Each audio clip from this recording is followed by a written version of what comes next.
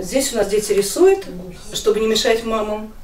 Их рисунки мы наклеили, чтобы они все знали, как они у нас красиво рисуют. Заведующая Оренбургским кризисным отделением Галина Репина по-хозяйски показывает помещения, в которых живут люди, попавшие в сложную жизненную ситуацию. Данное учреждение работает на базе комплексного центра социального обслуживания населения в Северном округе с января текущего года. Оно рассчитано на 10 человек. При поступлении они получают постельные принадлежности, набор продуктов питания в соответствии с нормативами.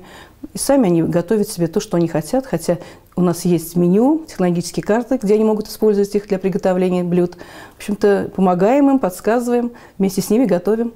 Залина Сербова теперь считает себя оренбурженкой, хотя совсем недавно была гражданкой Украины. Из-за сложной политической ситуации родную страну пришлось покинуть и обратиться за помощью к властям нашего региона.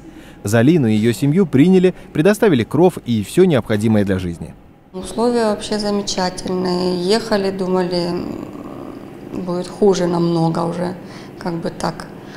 А приехали вообще замечательно.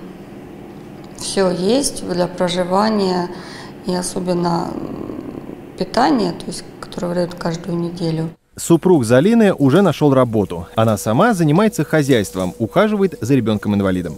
Соседка Сербовых, Екатерина Шигимарданова, тоже оказалась в отделении не случайно. Обстоятельства, о которых женщина не хочет даже вспоминать, привели в социальную службу. Здесь в помощи не отказали. Ее дети, пятилетний Степа и восьмилетняя Юля, перед тем, как попасть сюда, прошли курс реабилитации.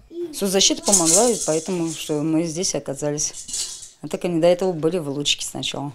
А с Лучки потом они сюда перешли. И вот мы начали здесь жить.